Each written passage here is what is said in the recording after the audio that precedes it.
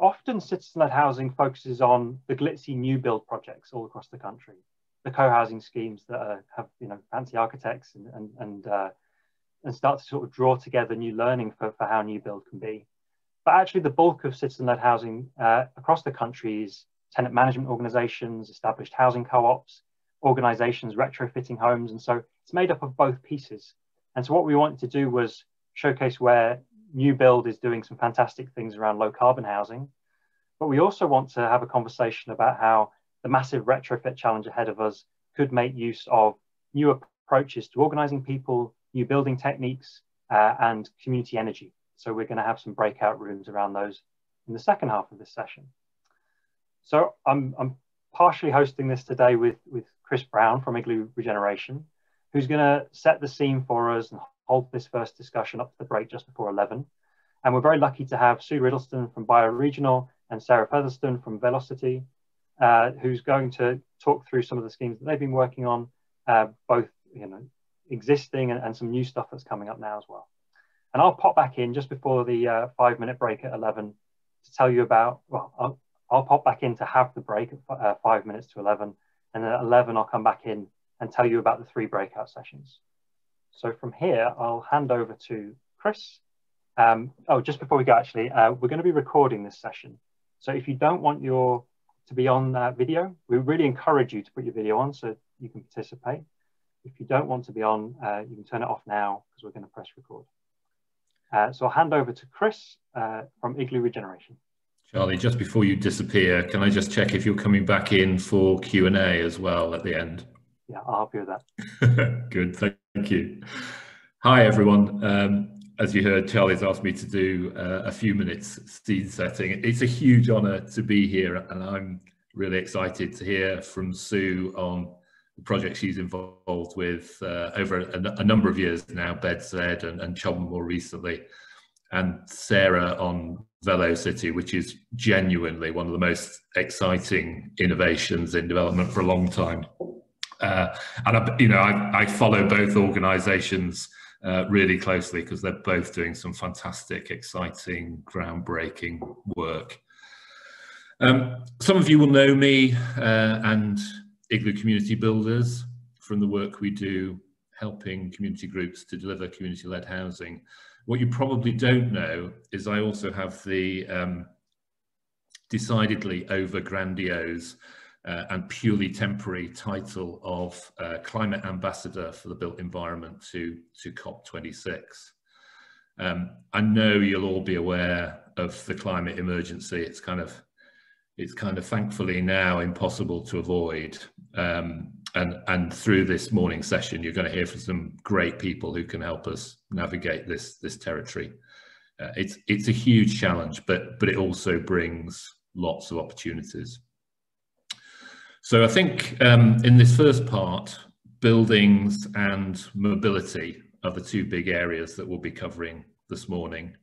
Um, Sarah in particular will be covering mobility, so I'm not I'm not going to say much on that, but just to mention one thing which um, which came out of some of the the other work I've been doing recently.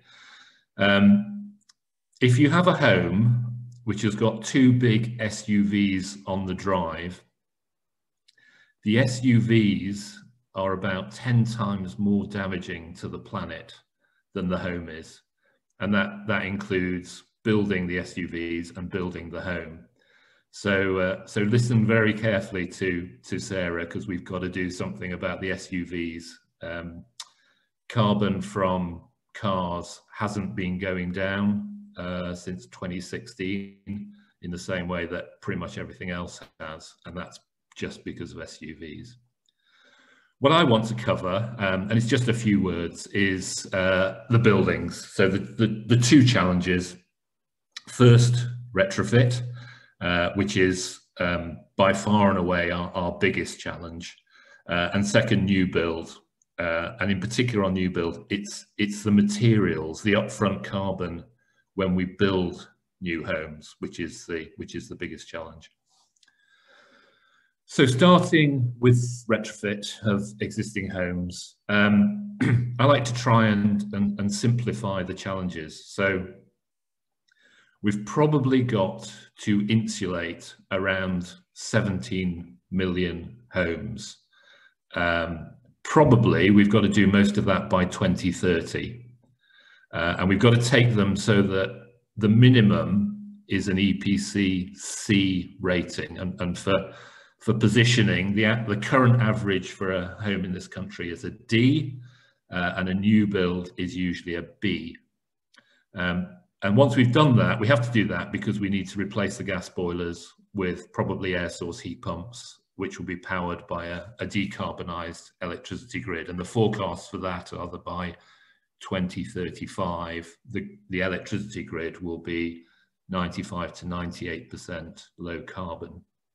Um, but it's going to have to be a lot bigger because we're trying to put the cars and the homes onto it.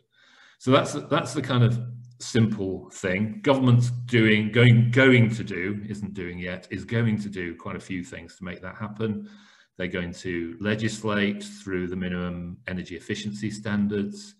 So that will require all our homes to be EPC C by 2035.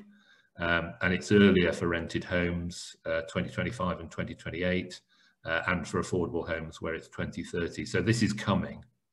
Um, they're also going to provide subsidy, but you'll all have seen that they just failed with their Green Homes grant. Um, it's one of a long line of failures, government policy failures in this space, top down, imposed, designed in a rush, one size fits all, and now scrapped. They'll have another go at it later this year. Um, so there will be, be money to help us. And I think probably they'll start raising the price of gas and reducing the price of electricity because at the moment they tax it the other way around. So there'll be incentives as well as sticks. Retrofit really isn't easy. It isn't economically rational because the savings take ages to repay the upfront cost. It's a lot of hassle and disruption. People are worried that they won't find trustworthy builders. They've all heard about cowboy builders. And for me, that's where community organizing comes in. Um, in particular, the hardest area is the able to pay owner occupiers. Um, they're actually the hardest people to persuade to take on these projects. Uh, and it often happens through street level and neighborhood level community action. Uh, and if you want a, an example to, to follow, I've always been really impressed by um, Cambridge Open Eco Homes, who do fantastic city level advocacy and, and support and uh, really making a difference in, in, Cambridge. So question for you all this morning, um, how can community groups best help support retrofit. I think that's I think that's really a challenge for the sector. And then just the second part, the new build challenge, that, that's quite different. Um, we know how to build to EPCA, which is approaching zero carbon in use. We do lots of insulation, we make the home airtight. We put a clever ventilation system in where the warm air going out heats the fresh air coming in. Um, our challenge really now is how and where, which Sarah will cover, do we build them in a way that doesn't trash the planet? Um, again, in simple terms, it's easy. Uh, we stop using things like concrete, brick, uh, foam insulation is, is a really, really bad one. Uh, and instead we use local sustainable timber and natural insulation materials like straw and hemp and wool and we'll still have to offset the rest by paying other people to reduce their greenhouse gases but but but we know kind of the route that we have to follow. The alternative to that is we just build fewer homes or, or we convert the homes we have to better fit people's housing needs. Um, you'll all know of uh, danny dorling one of oxford's professors. Um, he's identified that across the country on average we all have two rooms each which he would argue is is one too many um, so there is definitely a better fit thing to be done there. But sticking to what we call the, the upfront carbon from building a home, um, that's the big new build challenge. Uh, and I thought I'd give you an example that I really like for that as well. There's, there's a project called Homegrown Homes from an organisation called Wood Knowledge Wales. and what they've done is they've looked at the entire timber supply chain in Wales and they're working with all the stakeholders from the forests right the way through to um, the builders to find practical ways to minimize the upfront carbon in new homes. is a really exciting way of going about it. So my new build question for you all today, um, for everyone who's thinking about building new homes, is how, how can the community-led home sector show the construction industry the best ways to minimize upfront carbon? Um, and now I think I'll hand straight over to Sue, is that right? Sue, you're on mute. Thanks very much, Chris, uh, and a great sort of tour there around uh, all of the issues uh, that we, we're facing. Uh, I'm just going to share my screen with you. I've got a few, a few slides just to illustrate it for you. Um, So uh, our topic, designing sustainable housing with communities. And I think for me, it's all about how are we designing to make it easy for people to live a sustainable lifestyle? Because we don't get up in the morning and think, oh, I'm, I'm going to cause climate change and, you know, all of these things. It's just we're all in this society that we've created together. So I'm going to tell you a little bit about our approach um, to, to doing that in, in the housing sector and uh, how we've been a community-led housing group in effect and uh, also how we work with um, community-led housing groups for designing sustainable housing with communities. So um, Bioregional, we, we've been going since 1994 um, and very much um, working, especially, we started out working particularly on products and closed loop circular economy products. And then we needed a new office um, so I thought, oh, maybe we could build a green office. Um, and that led to us um, actually um, looking for sites, um, finding a, a, green architect, take, taking the project around um, to see if there would be anyone who'd put up the money to do it, uh, asking the local authority, did they have some land? Uh, and luckily they had actually made in their in their local plan as it was at the time, they had said, we'd like to have an eco-friendly housing development. So that ticked that box. And I think with these things, it's always important if there's something in it for everyone. Um, and uh, we went around, you know, presenting to people and the Peabody, uh, a housing association, London's largest and oldest, like the vision of the project, especially because fuel poverty was an issue for them with their residents, which means, you know, if you're on a low income, then and your energy bills are high, it's a much greater proportion of your income. And so, um, you know, you may not be able to have the heating on or you may not be able to pay your rent. So that was, again, you know, it needs to be something in it for them. And that was what was in it for them. I think also they really liked the sort of approach that we were taking and the sort of community community of that was being presented to them that it was coming from uh, a local organisation. You know, this is just down the road from where I used to live. It was literally from the community. Uh, and I think because we were deep green environmentalists, we were just, we were brought a different approach to it. We were thinking very much about how we were going to live there, how we were going to work there. And um, so I think that was something new that we brought to it because I think at the time people were very much about just, you know, how do we save energy in the buildings? And in fact, people didn't really talk about it that much at the time. Um, so, you know, we had all these different strategies. Um, obviously, we wanted it to be zero carbon, but we also thought about, um, and you can see there the photovoltaics and there's a, a, energy system and we, we thought about, oh, where can we get the energy from? Um, once we've got to a sort of passive house level of design, uh, it's not passive house certified, but it's all passive house levels of um, uh, energy demand. So um, we've used wood chip at the time. We probably wouldn't, and a district heating system, we probably wouldn't do that again. These days we're looking at um, heat pumps and more, more electric and keeping the demand down. Um, we looked at the building materials, you know, how, how can you reduce the impact, as Chris said. So we used local brick from um, Cranleigh in Surrey. We used green oak weatherboarding. And in fact, although it looks quite space age, these were the local materials. And if you look around at the really old houses locally, that's what people always used to use. It's so much lower impact than lots of uh, steel. And we got reclaimed steel from a demolition site, which is a 97%, I mean 99% reduction in the life cycle impact. We just shot blasted it and spray painted it. Um, reclaimed paving, all sorts of things to reduce the construction impacts.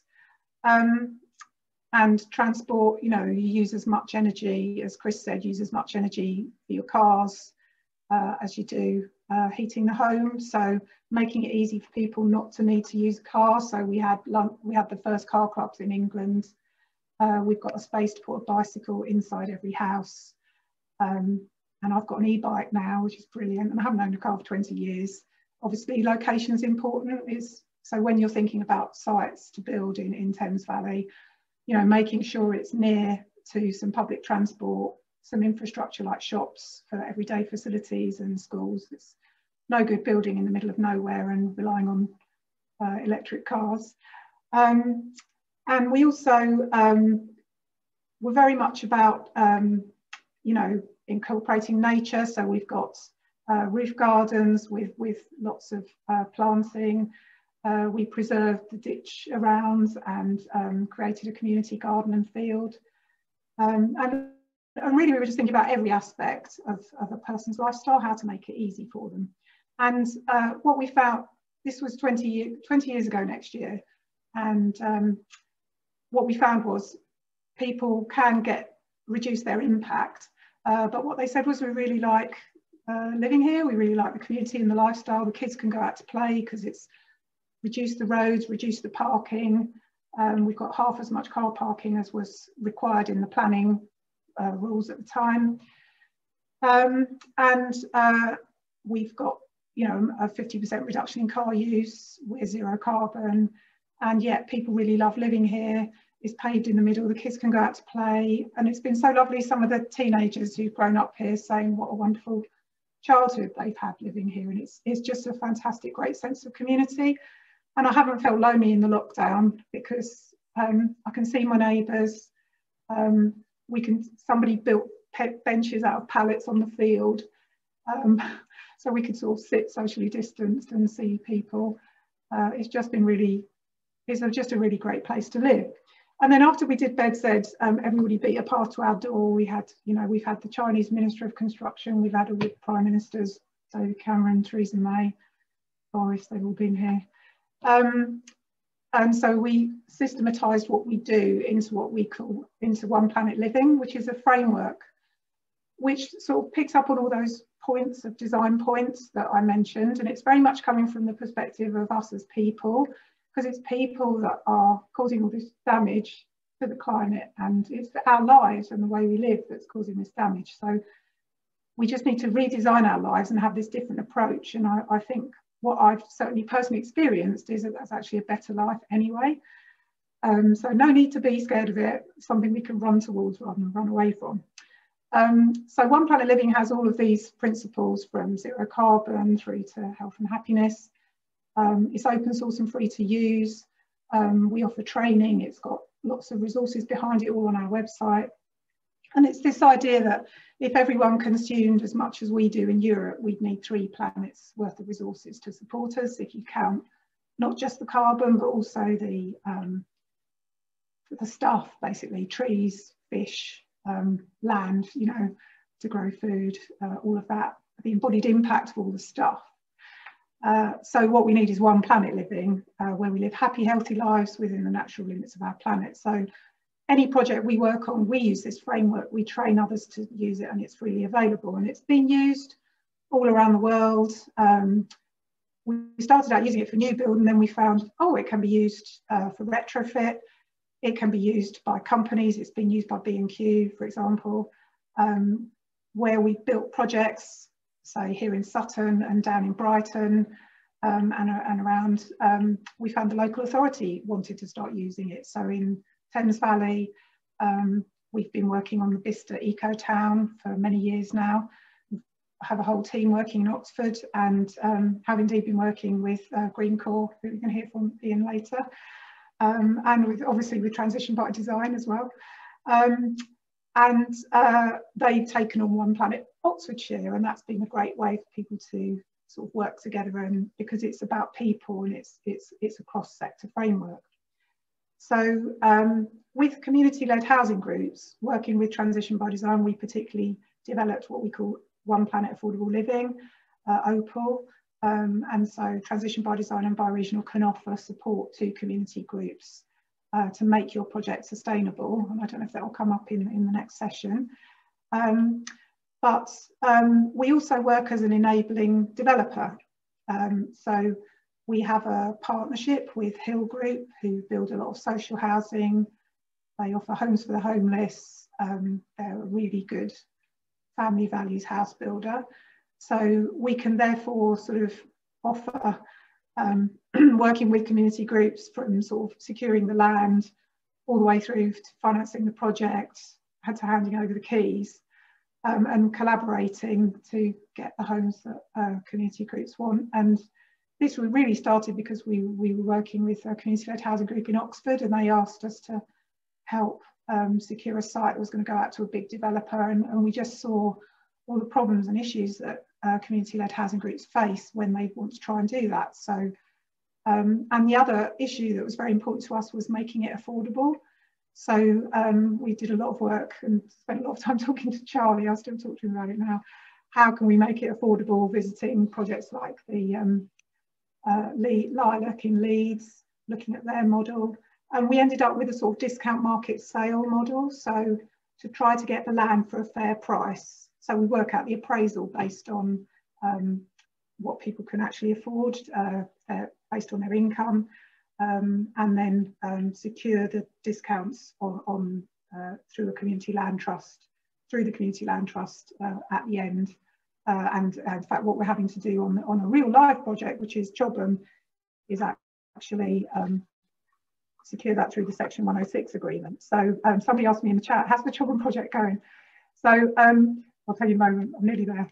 Um, so we very much, with Chobham, it was actually the landowner that came to us, but we did know some people who lived in Chobham. So we said, do you think you need a sustainable, affordable community on this bit of land? And they said, yes. Um, so we had about 44 um, people who would come along to meetings. We worked with uh, Waugh Thistleton Architects. Um, you know, it was a very collaborative co-creating and actually we had the neighbours involved as well even though the neighbours actually objected to our planning application because they didn't want anything built, they did contribute and they say, oh, well, we walk our dogs through there or we need to go to the bus stop here. So we've ended up with, if we do get planning permission, which we should hear about in June, we've actually had to go to appeal uh, because the council just want regular social housing there. Um, that was the, the P objection. Um, but if we if we get it on, a, on appeal, then um, it, it will be something that uh, fits in with the local community much better than if we just sort of turned up and did our standard designs. And people really need this and, and want to want to live there. Um, we think about nature, so you know every site is different, and we want to make a home for nature as much as for people. There's a lot of trees around this site because it's been derelict for a long time. So keeping most of the trees, concentrating the homes in the middle, and you know enabling neighbourliness. There's zero carbon um, car sharing, e-biking it to the station, you know, thinking about how to enable a sustainable lifestyle. So fingers crossed for us and our Sustaining Chobham Community Interest Company that we get planning and uh, look forward to your questions in the discussion. Thank you.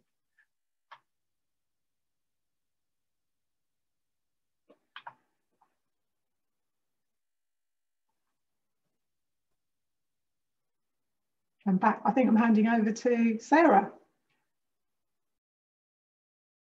Yes, thank you very much. Thank you.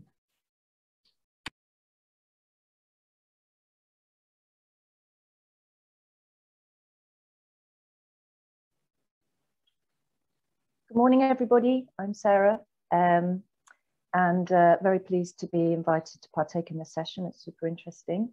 Um, so contrary to what the name suggests, VeloCity is actually about rural issues. Um, and it's a vision on how we can provide new homes with better connectivity. And I'm trying to move the slide on. And, uh, and the VeloCity team is uh, friends that enjoy cycling together, but came together professionally um, to uh, put forward a proposal for the National Infrastructure, Com National Infrastructure Commission competition, which was looking at how new infrastructure along the Oxford-Cambridge corridor would integrate with new homes and that idea of placemaking. Uh, and instead of um, looking at town expansions um, and new towns, we were very interested in, in looking at villages um, and, um, and uh, because they're existing places with a very strong character and because also they're actually suffering from quite a few issues, um, increasing congestion, isolation, car dependency. And um, and in addition to that, um, uh, there is development happening in villages, uh, but it's not necessarily the right kind of development. It's what we see as sort of small scale, low density suburban sprawl. And the worry is, is that if you allow that to continue, villages will lose their identity as they sprawl out and could join with another village. So our idea is, is that you can start looking at doing uh, housing in uh, higher density, a gentle density within villages. Um, and so why focus on villages? Well, the opportunity um, is there because there's a, huge pressure on housing um, and uh, especially through co uh, during COVID, uh, there are more people working from home and we're seeing an increased number of people moving to the countryside. And in fact, there's over 10,000 villages in England and so many of those are probably only one or two miles apart from each other, which means that it isn't that difficult to start uh, applying this kind of fine grain infrastructure of cycling and walking to better connect these villages. And so Velocity has five key principles. The first one is people over cars, prior, you know, decentralizing car use and prior, prioritizing active travel. Uh, the second is compact, not sprawl, this idea of trying to keep the special character of our villages by uh, um, looking at um, uh, building within villages and keeping them more compact and more walkable. It's also about connected, not isolated. So it's not just focusing on one village. Um, it's actually looking at villages as a cluster, as a group. By growing them together, they will have a sufficient population to support and bring back some of those services they've lost. The, the, the school, the pub, the bus service, um, all those things can begin to be um, uh, shared and, uh, and supported if if you look at them as a cluster, as a group of villages. Uh, and um, it, this is also opportunity to bring in new kinds of housing. So we have a range that can, uh, and, and, and workspaces so that we can have both younger people living alongside older people. Um, and, and also it's, uh, it's time to um, look at the ways in which we can um, release land that we might not previously been able to develop upon. And overall, um, throughout our strategy, it's, it's about protecting the landscape um, and increasing biodiversity, uh, pr promoting sustainable environments, and also communities, the health, their health and well-being. So when we looked at the um, Oxford to Cambridge corridor, um, we noticed that there were hundreds of little villages all along um, this corridor that were probably only about seven miles. Many of them were only about seven miles away from what would be a town with a new train station and links to this new high speed rail and, and bus services. Um, and um, that meant that we could start looking at ways in which you could combine that kind of slow travel with the fast travel. So by um, looking at these clusters of villages that were perhaps only 10, 15 minute cycle away from the uh, town with the station, um, we would also we would connect them through opening up and reusing the old bridleways and footpaths that would have connected them. And by doing that, we can push cars to the edge of the cluster and start pedestrianising the sort of heart, the historic sort of village cores, and stop those rat runs and make these places, make these villages safer places for people to live in and better connected. Uh, and um, another aspect is that when you have this cluster of villages, you naturally create this kind of, there's this central landscape, um, uh, which, which is a, an opportunity to start thinking about how we manage and look after our land differently, build on the biodiversity and wildlife, but perhaps also we were starting to think about how you could have a more productive landscape at the edge of this, uh, what we're calling the big back garden, a more productive landscape where um, closer to the villages, where people can grow food and begin to become more so self-sufficient. And then perhaps in the middle, have a more active landscape where these footpaths and bridleways, the cycle walking routes crisscross, uh, where there may be more community activities or leisure activities, which could vary depending on the character and the context of each of these village clusters. And so this is about sharing resources, sharing resources through these scalable clusters. Um, so several village clusters might form what we call a town cluster, and that might have a special, specialism around tourism or culture, depending on, as I say, where it is. A village cluster can start sharing. Um, one, one village might have the school, another one might have the um, uh, GP, uh, and this goes right down to the resources you have in a village and also the way you think about housing. We've touched on co-housing and this idea of perhaps lighter footprints um, uh, for houses because you can share more resources, share gardens, share dining baths, those sorts of ideas. Um, and we've tested this out. We've cycled through these villages, met local people, and even seen, you know, people beginning to, farmers beginning to think differently about the way they diversify. Um, and we've also started thinking about what this new housing might look like, what its typology might be. We've looked at not just the sort of very picturesque small workers' cottages that you see in these villages, but also those quite large agricultural sheds uh, and start looking at how, you know, that we see there as well. Um, it's also very much about um, it being landscape led. Um, and uh, here on the right, we have a diagram of um, the typical housing developments where nearly up to 40% of those sites are dedicated towards roads and parking, whereas we're trying to look at this differently and reduce the need, you know, reduce the car and the need for it uh, and, and, and invest much, much more in the landscape and countryside. And so these, these, these housing topologies that we developed, we see being placed in and around the historical core. This is our imagined village. The historical core is the sort of gray color. The typologies are bringing in new homes, of all types, flats, houses, but also workspaces and, and, and, and uh, work live spaces. The orange buildings or the yellowy orange buildings on the edge are what we kind of see as perhaps the depots um, where services and deliveries can come into the edge of the village, um, and, but the larger vehicles are kept um, out of uh, the middle, which is, is pedestrianised.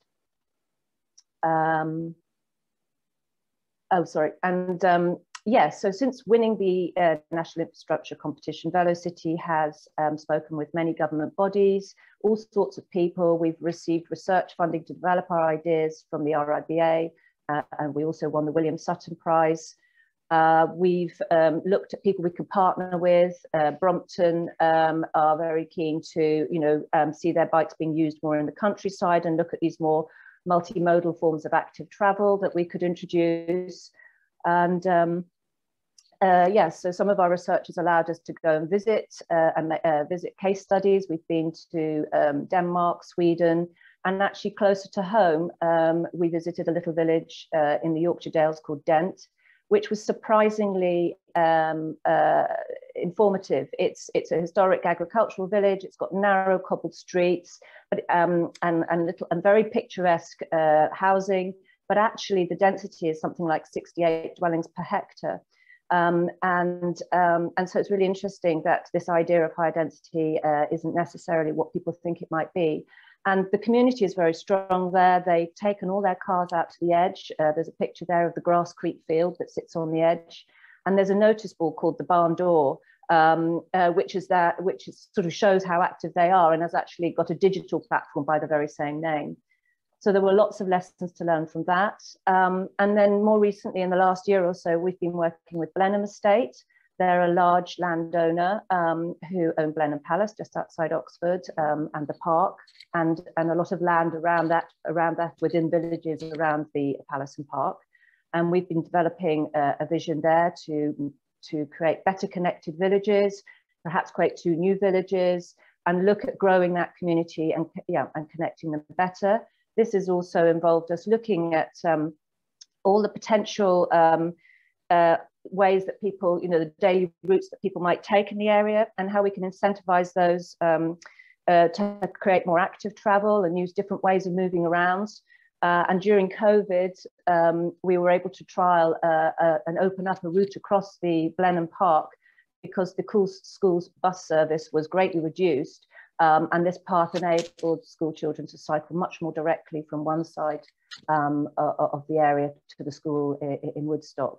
And this has uh, really been quite successful and has encouraged more, more paths to start opening up. Um, uh, and also for villagers to start realizing that together they can um, really sort of lobby for more, for more safer um, uh, means of traveling and walking and cycling. And with Blenheim, we recently submitted a proposal to um, Oxfordshire Open Thought. So this is um, Oxford County Council uh, inviting um, people to engage in a process for their 2050 vision. Um, and we submitted the VeloCity Principles, um, looking much more specifically at the uh, wider Oxfordshire area and actually how you can relieve pressure from the towns um, and start looking uh, at uh, better connecting and investing in, in, in these myriads of villages in the area. Uh, and we're also uh, looking at um, uh, a small site in one of the villages to um, uh, to bring the VeloCity principles into a housing, uh, about 40 homes. Um, and this is almost like a micro scale of, our, of, of, all our principles uh, being invested in this site. It's, it's right in the heart of the village. Um, it's, we're pushing the cars to the edge. We're running um, a footpath cycle and walking route right through the heart of, of, of the site, which is both beneficial to the new homes, but also it links some of the other village facilities that are disconnected at the moment via um, quite busy roads. Um, and um, it, uh, it, it's, it's, it's got um, smaller clusters of houses, a little bit like our village clusters that are, that um, are, are located around shared spaces, uh, which are almost like the mini big back gardens. So really interesting. The houses will be passive design. They're taking cues from the local vernacular uh, and the densities are, are, are, are higher. Um, and elsewhere, um, you know, VeloCity, we're, we're, looking, we're working elsewhere in other parts of the country. Um, and uh, we're looking at uh, the um, how you might create village clusters in the Welsh valleys. Uh, and we're working with um, rail engineers on a project uh, near Bridport, around Bridport, which is uh, looking at reversing the Beeching uh, and opening up an old railway line, um, which by the very nature it was quite a, a, wide track to take those bigger trains, but now has that capacity to take a smaller track, uh, a very light rail, and then run alongside it walking and cycling. So this has both tourist benefits, but also the ability to suddenly connect a myriad of little villages along that railway line um, uh, and and um, and and yeah, you know, uh, uh, get people sort of cycling and walking to those stations rather than being so reliant on their cars. Um, so yes, we, we think VeloCity is scalable uh, and has a wider impact. Uh, it's uh, practical because it actually is low cost. It's reusing existing infrastructure rather than having to build new. It is transformative because it needs to turn planning on its head and we think it's replicable um, both across the country um, or the county, the country, and then possibly, possibly the world. Uh, uh, Sue was talking about how, you know, One Planet Living has had that impact. Who knows, maybe VeloCity can too. So um, you can read more about uh, VeloCity. We've recently contributed to a chapter in the RIBA Rethink Design Guide and also the Design Commission for Wales uh, book, uh, Places for Life uh, and um, or you could visit our website. Uh, so thank you very much for listening and look forward to a discussion around this. Thanks, Sarah. Uh, two absolutely brilliant presentations there. Uh, I hope everyone got as much out of those uh, as I did. Um, I'd, I'd, like to kick off the Q&A. Um, there's been some, some interesting questions in the chat and I'm hoping Charlie will come and start rescuing some of those. But if you have questions that you want to put to either of the speakers or just generally, um, just ping them in the chat and, and, hopefully we'll have a few minutes to, to pick those up. Um, I'd, I'd, like to just try and explore with you both the, um, the impact of the, of the planning system because that's come up in the chat, that came up in both your, your presentations and trying to understand the extent to which um, the planning system is is actually hindering uh, good uh, development. De that's development that's that's uh, at least a lot better for for the climate. Um, maybe Sue, if I could if I could start with you. Um, just interested in in the extent, if there was any, that the local plan in Chobham was supporting community-led development rather than say, you know, the old-fashioned model of, you know, if you're doing affordable housing, it must be done by by a housing association. Was was that an issue for you? Uh, yeah, it's definitely been an issue. Uh, the land is noted as land to come forward for affordable housing in the five-year land supply, but um, the council would like to build regular uh, social or see regular social housing there. So they that's why they objected to our application. Um, but actually, when we talked, what the community want is, you know, they live in the village with their mum. They they now got a partner and they can't afford to get a two bedroom home to live in. Um, so, and they would like it to be sustainable. So you know, we've got people who want the homes who live in the community, but the council's offering something that they wouldn't um, fit. But I think things that things are changing a bit. I mean, I'm not necessarily a big fan of some of these government schemes that always seem to yeah, be badly designed. But um, the first homes scheme is going to offer discount market sale housing um, and regular developers are going to be required to provide it for up to 25% of their homes. Um, and the way they see that working is it will affect the land price because I think the key thing for us was if you're going to make it affordable, you can't go head to head with Barratt's. Although we did for BedZed, actually we literally went head to head with Barratt's. And Sutton Council valued the carbon emission savings and let us bid 20% um, lower for the land in order to make the project happen. But I think a lot of local authorities are very cash strapped and they should be taking into account social value uh, and there's actually an act for that. Um, and at the moment it's voluntary. Um, but uh, I'm not saying the people at Surrey Heath Council are awful. They're just in a system and that's how the system works. But there are some changes coming. Uh, and so we hope that the planning inspector will recognise uh, the need. That's our sort of key plank of our argument uh, for the uh, planning appeal later in the month. I don't did I answer your question there? Yeah, no, great. And, another really important point there from Sue about um, actually local authorities have a duty to take into account environmental and social benefits. The Treasury Green Book tells them to. They're just really bad at doing it. They don't really understand how to do it and they don't really want to do it because they want the cash. Um, but that's always a lever we can we can try and pull. Um, Sue, just just another one on on Chobham.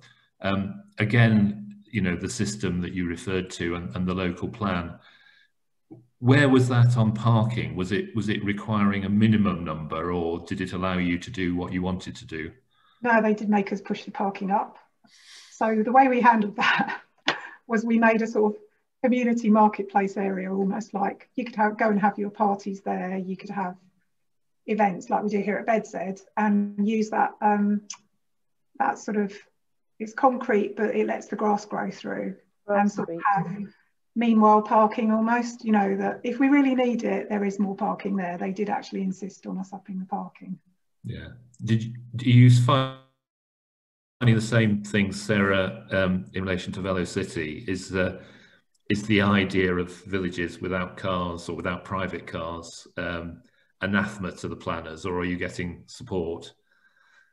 I think actually the work we're doing with Blenheim um, and uh, working with the um, Oxfordshire County Council and West Oxfordshire District Council, they've actually been really supportive. They're very interested uh, in, in, in, you know, uh, trying to invest more in the villages. Um, uh, as, as, I think I mentioned, they see um, that they've used all the good land and bad land around towns um, to create more housing, and it's just it's just escalating in terms of uh, congestion on roads, um, and uh, and it's it's it's you know we still see more and more people in villages having to jump in their cars to get to these places where these service centres.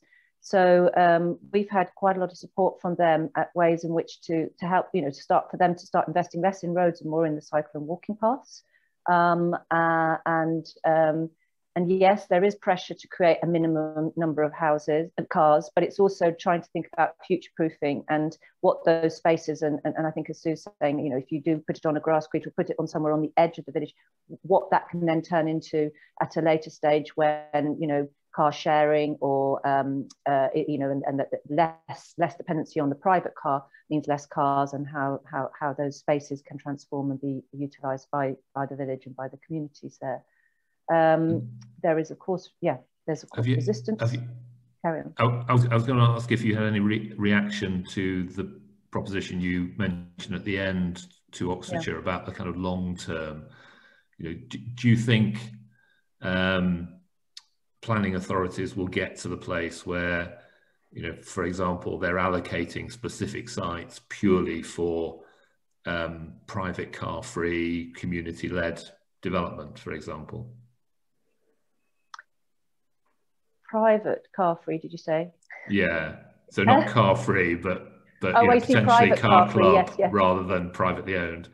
I do think so. I think so. I think we're finding that we're having really positive discussions with them. They've got these cycle champions that are involved at quite high level discussions about how we can implement um, proper cycle and walking routes um, that link villages to train stations. I mean, around the areas we're working, you're literally one mile away from a train station. There's a number of um, rail lines, not just not just the station at Oxford or, or, or, or, Parkway. There are smaller stations which, with further investment, mean it's possible for people to quite easily walk and cycle uh, um, but it's just getting those routes in place. You know, at the moment, there's pathetic, very small, badly paved, you know, um, uh, sidewalks for in places, but they're disconnected um, and uh, they're shared with cars. Um, so, I as I say, I think this idea of um, perhaps working with someone like Blenheim, a large landowner who has got a bit of clout and has a lot of the land that some of these routes go across, is a way forward for councils, um, for the local authorities to um, better connect and therefore be able to invest and, and see more housing happen in villages mm. in a much more sustainable way. Thanks. So can I just have a last one for Sue, and then maybe Charlie, if you've got something out of the chat, you could you could come in.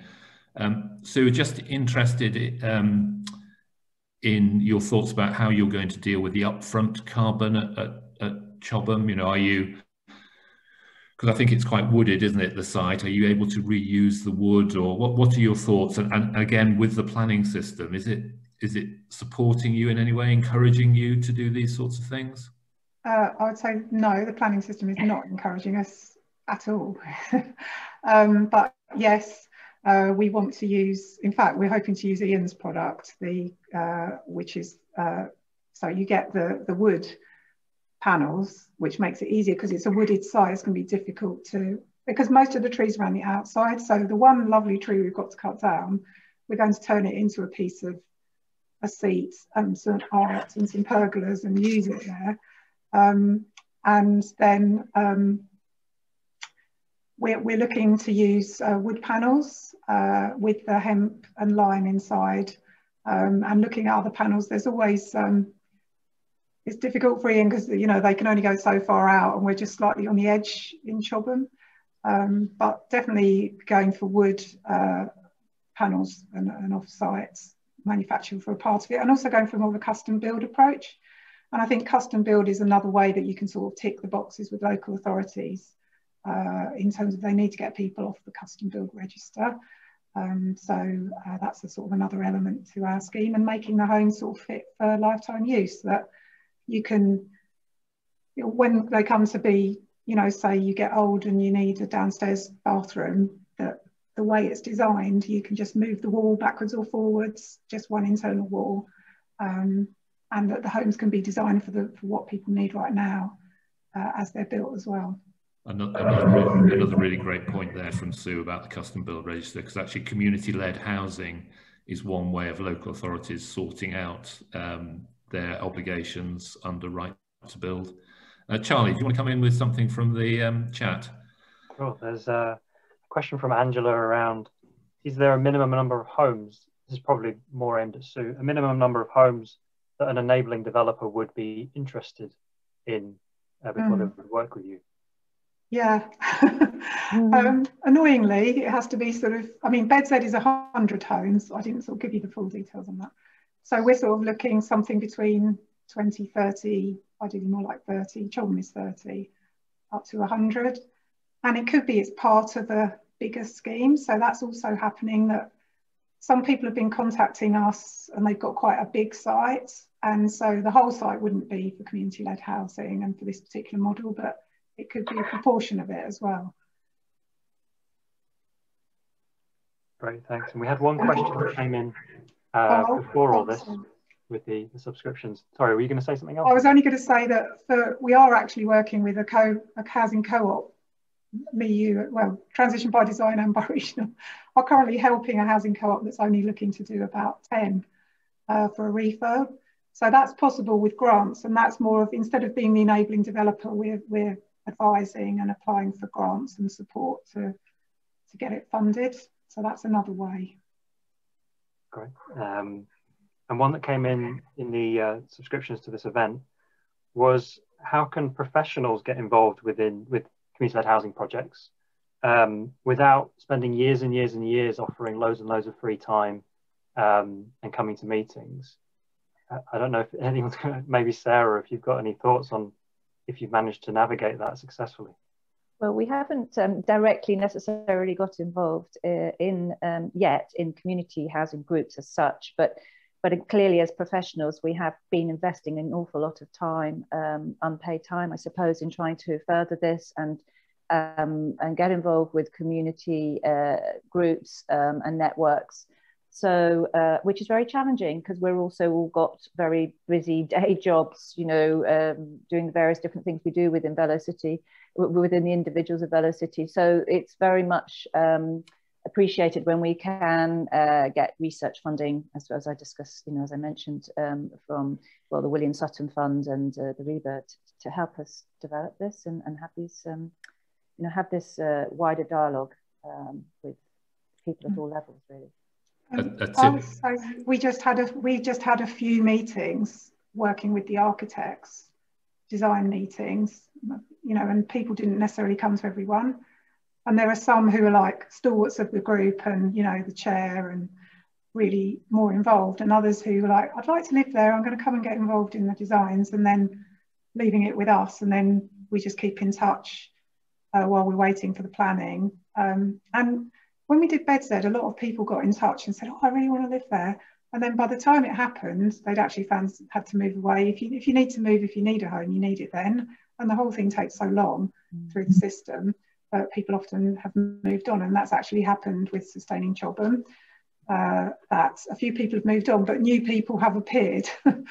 um, so I think the good work's been done on the design by because it's got that local insight, and you know, there's not that many uh, ways that are different ways you can build homes. So they'll they'll be happy with them, and you know, people move in and out here at BedZed, and new people come, and you think, oh, they'll never be as great as the old people, and they are a tip from me would be to get an architect in your group. And we're working with, uh, uh, in fact, three three co-housing groups, um, and they all have architects. In fact, one has three architects in the group. Yeah, they've always got great ideas, and you know they put the love into it. I think that's the key thing. This needs to be a work of love and attention to get really wonderful communities. I wouldn't want to work on a project unless I'd like to live there myself. And you know, these things are important but often overlooked. For that person asking about, they, they were an architect themselves looking to get involved. And so I've got a direct answer to that, which is we often bring the funding to the schemes so that we can get paid. So we're on lots of lists. We get paid by a number of different organizations to help groups so that they don't have to find the funding first. That's one good way of being able to stand up and give some proper time to this. Yeah. Um, we have finished this session. There's a great question about uh, fire safety that I wanted to bring in, but we'll have to cover it in the next bit. So if we just take a, a few minutes off, uh, we'll come back at 11 and then I'll introduce the, uh, the three break breakout groups and, and, what they're going to be about. Thank you to our, our, speakers for this session and to Chris for, for fielding the questions. and I'll see you in three minutes at 11. Just have a bit of a shake and uh, turn, your, turn your camera off for a moment.